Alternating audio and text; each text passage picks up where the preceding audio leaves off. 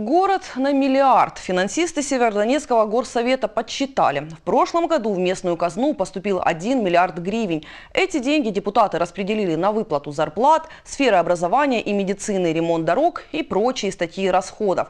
Наш корреспондент Анастасия Волкова выяснила, что дороже всех городскому бюджету в 2016 обошлись учащиеся ПТУ. За обучение одного человека из казны оплатили 33 тысячи гривен. Подробности в сюжете.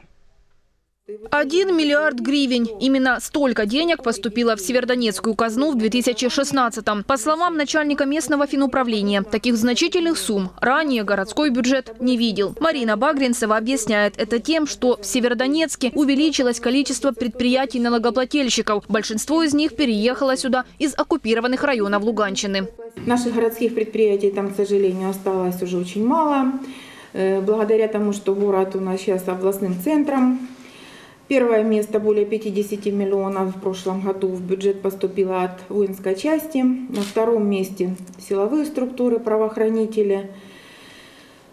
Азот даже не на третьем. Ну, в общем, структура подоходного налога, она очень сильно изменилась.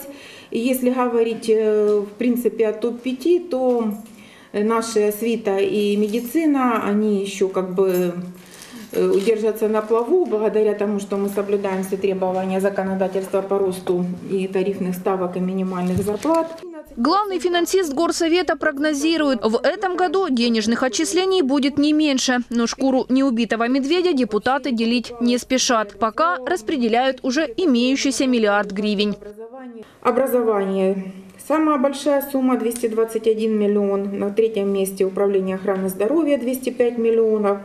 На четвертом ЖКХ 52 По словам Марины Багринцевой, дороже всех городскому бюджету в прошлом году обошлись ученики профессионально-технических училищ. За обучение одного человека из казны оплатили 33 тысячи гривен. Это выплата стипендии, питание, зарплата педагогам, содержание зданий. Также в эти подсчеты вошла стоимость обучения переселенцев и выплата им социального обеспечения.